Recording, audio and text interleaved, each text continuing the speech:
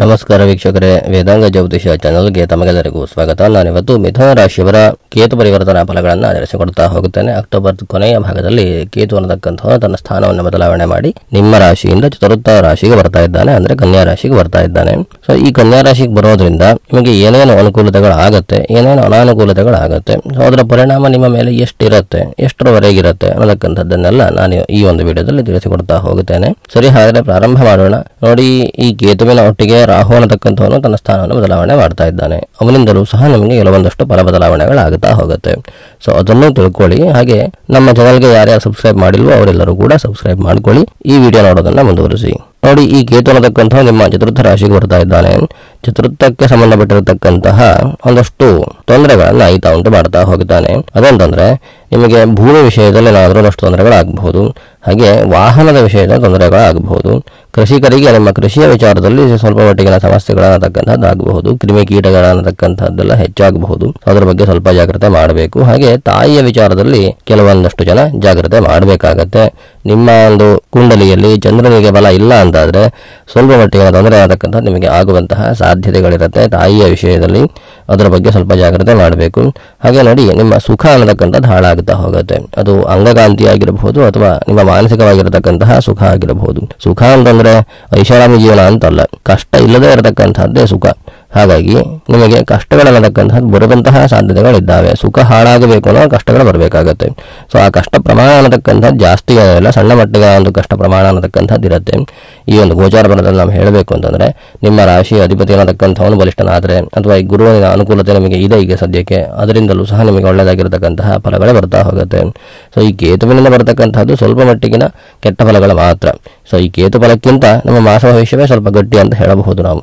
So ಯಾಕೆಂತಂದ್ರೆ ಮಾಸ ಭವಿಷ್ಯದಲ್ಲಿ ನಾವು ನಾಲ್ಕೈದು ಗ್ರಹರ ಬದಲಾವಣೆಗಳನ್ನು ಸೇರಿಸಿ ಒಂದಷ್ಟು ಫಲಗಳನ್ನು ಹೇಳ್ತಾ ಇರುತ್ತೇವೆ. ಈ ಕೇತುವಿನ ಫಲಕ್ಕಿಂತಲೂ ಮಾಸ ಭವಿಷ್ಯದಲ್ಲಿ ಹೇಳ್ತಕ್ಕಂತಹ ಫಲ ಘಟಿಸುವುದು ಸ್ವಲ್ಪ ಜಾಸ್ತಿ ಅಂತಾನೆ ಹೇಳಬಹುದು. ಕೇತು ದಶ, ಕೇತು ಭುಕ್ತಿಗಳು ನಡೀತಾ ಇರತಕ್ಕಂತಹದ್ದು.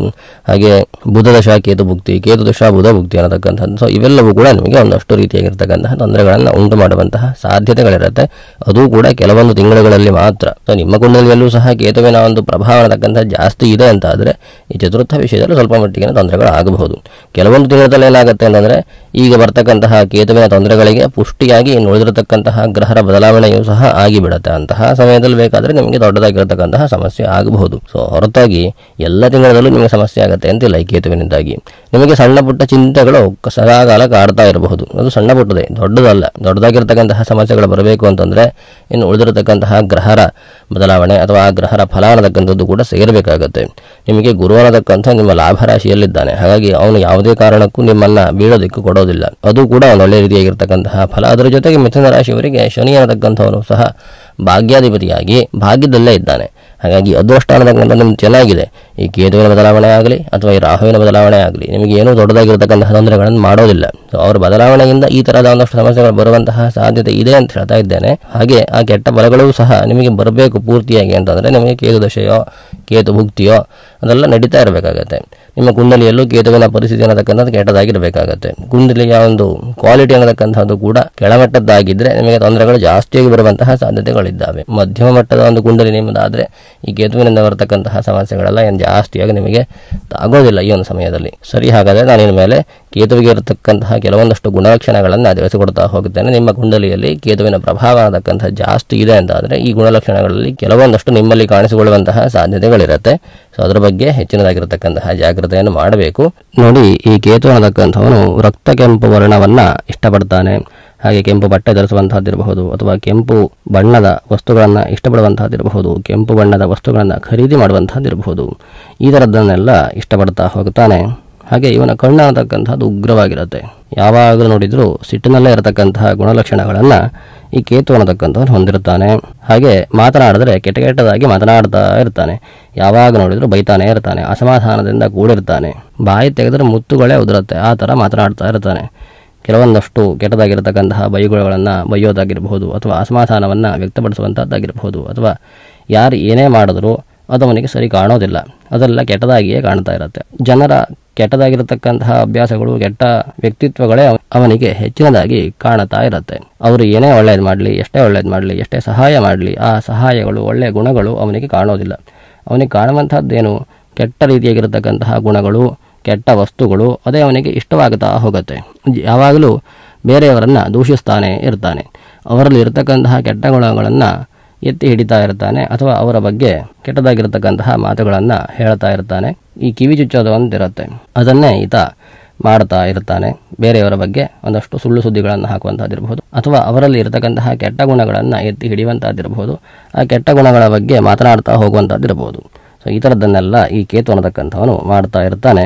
ಹಾಗೆ ಬೃಹದಾಕಾರವಾಗಿರತಕ್ಕಂತಹ ದೇಹವನ್ನು ಹೊಂದಿರ್ತಾನೆ ಹಾಗೆ ಯಾವಾಗಲೂ ಸಹ ಒಂದಲ್ಲ ಒಂದು ಶಸ್ತ್ರವನ್ನು ಆತ ಇಟ್ಕೊಂಡಿರ್ತಾನೆ ಚಿಕ್ಕದೋ ದೊಡ್ಡದೋ.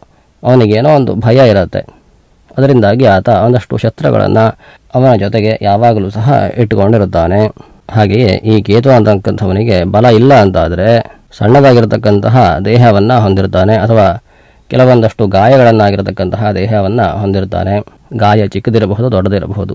ಈ ಕೇತುವಿನ ಬಲಾಬಲದ ಮೇಲೆ ಅದರ ನಿರ್ಣಯ ಅನ್ನತಕ್ಕಂಥದ್ದಾಗತ್ತೆ ಒಟ್ಟಾರೆಯಾಗಿ ಈತ ಒಂದಷ್ಟು ಜಗಳಗಂಟ ಅಂತ ಹೇಳಬಹುದು. ಯಾವಾಗಲೂ ಸಹ ಜಗಳಗಳನ್ನು ಮಾಡ್ಕೊತಾ ಇರ್ತಾನೆ ಅಥವಾ ಕಿರಿಕಿರಿಗಳನ್ನು ಮಾಡ್ತಾ ಇರ್ತಾನೆ, ಬೇರೆಯವರ ಬಗ್ಗೆ ಮಾತಾಡ್ತಾ ಇರ್ತಾನೆ. ತನಗೆ ಸಂಬಂಧ ಪಡದೇ ಇರತಕ್ಕಂತಹ ವಿಷಯಗಳಲ್ಲೆಲ್ಲ ತಲೆ ಹಾಕೋದಕ್ಕೆ ಹೋಗ್ತಾನೆ.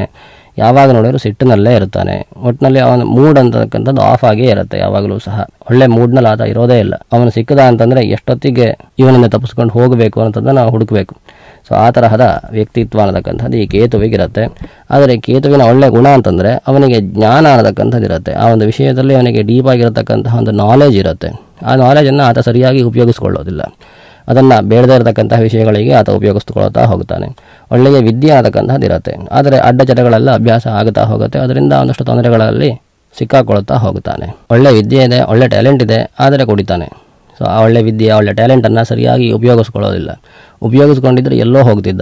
ಆ ತರಹದ ಒಂದಷ್ಟು ಗುಣಲಕ್ಷಣಗಳನ್ನು ಈ ಕೇತು ಅನ್ನತಕ್ಕಂಥವನು ಹೊಂದಿರ್ತಾನೆ ಆದರೆ ಈತ ರಾಹುವಿಗಿಂತ ಬೆಟರ್ ರಾಹುವಿನಷ್ಟು ಕೆಟ್ಟ ಗುಣಗಳನ್ನು, ಕೆಟ್ಟ ಪ್ರತಿಪಾದನೆಗಳನ್ನು, ಕಪಾಟವನ್ನು ಈತ ಹೊಂದಿರೋದಿಲ್ಲ.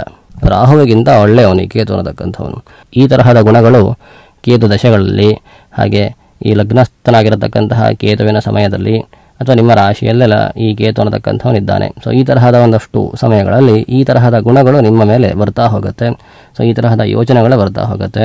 ಈ ಸಿಟ್ಟು ಬರುವಂಥದ್ದಾಗಿರಬಹುದು ಅಥವಾ ಬೇರೆಯವರ ಬಗ್ಗೆ ಕೆಟ್ಟದಾಗಿ ಮಾತನಾಡತಕ್ಕಂಥದ್ದಿರಬಹುದು, ಬೇರೆಯವರನ್ನು ದೂಷಣೆ ಮಾಡತಕ್ಕಂಥದ್ದಿರಬಹುದು, ಬೇಡದೇ ಇರತಕ್ಕಂತಹ ವಿಷಯಗಳಲ್ಲಿ ಮೂಗು ತೋರಿಸುವಂಥದ್ದಿರಬಹುದು ಅಥವಾ ವಿನಾಕಾರಣವಾಗಿ ಜಗಳ ಮಾಡುವಂಥದ್ದಿರಬಹುದು ಅಥವಾ ಕಾಲಿಗೆ ಎದುರ್ಕೊಂಡು ಜಗಳಕ್ಕೆ ಹೋಗುವಂಥದ್ದಿರಬಹುದು ಸೊ ಇದೆಲ್ಲ ಇವರ ಒಂದು ಸ್ವಭಾವಗಳು. ಸೊ ಇವರ ಸಮಯದಲ್ಲಿ ಈ ಸ್ವಭಾವಗಳೆಲ್ಲ ಬರ್ತಾ ಹೋಗುತ್ತೆ. ಇದನ್ನು ಕಂಟ್ರೋಲ್ ಮಾಡ್ತಾ ಹೋಗಬೇಕಾಗತ್ತೆ.